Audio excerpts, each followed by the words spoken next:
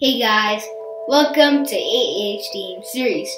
And in this video, we're gonna show you thermal energy. Yeah, so I'll tell you what thermal energy is at the end of this video.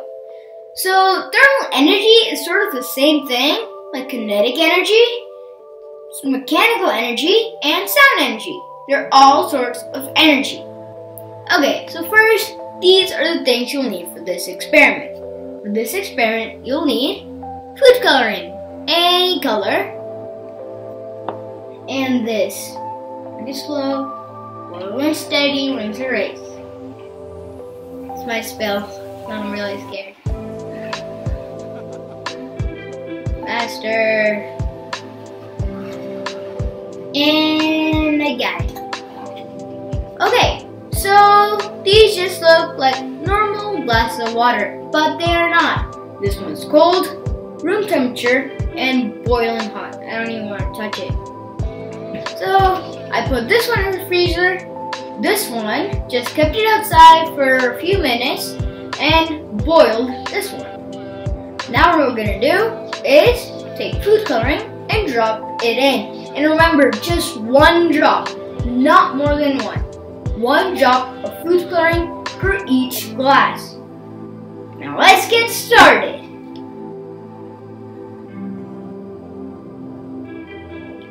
Now I'll move this a little closer. And it's good. Take food coloring, open it up, and one drop. So observe what happens to each of the glasses. Remember, cold, room temperature, and boiling hot. So, hold.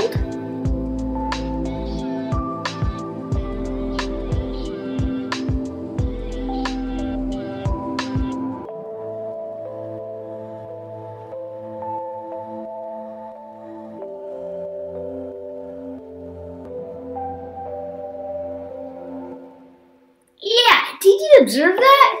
It didn't spread as fast. It just slowly drops in like a drop. Now, this one, room temperature. One drop.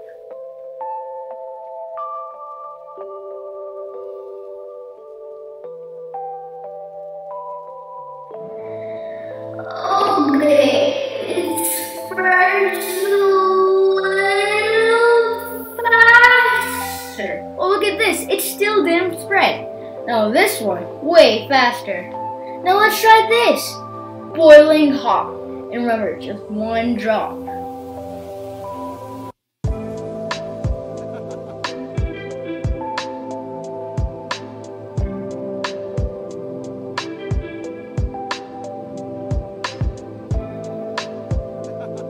Whoa! Did you see that? Look, it's already spreading super fast. Whoa, look at this. Barely. Almost. You're already there. Look at that. Who knew? That is just superb. Now keep observing. This is still not spreading, just drop by drop. Anything a little faster. And poof, you're done. First place. Okay, so this is because of thermal energy. And I'll explain why. So this is cold, room temperature, and hot. So the water is cold, the thermal energy is very low. And remember, when water gets cold, it'll start trying to freeze and become solid. So when it's solid, the molecules don't move as fast. So that's why the food coloring spreads slower, way slower than room temperature. It's room temperature, so it won't too slow or too fast, just at the right speed, or unless you want to go super fast like that one. So yeah, this one the molecules will be moving slightly faster, and the thermal energy level will go higher. Now this one. This one, remember, was boiling, boiling hot. And remember that when water gets heated up, it turns into a gas. Molecules move way faster when it's a gas. And that's how the food coloring spreads way faster too.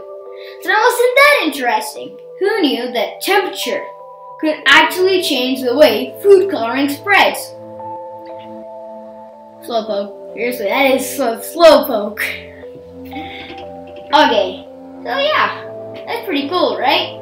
Did you ever think that temperature could really make a difference? I never knew about it. Now you do too.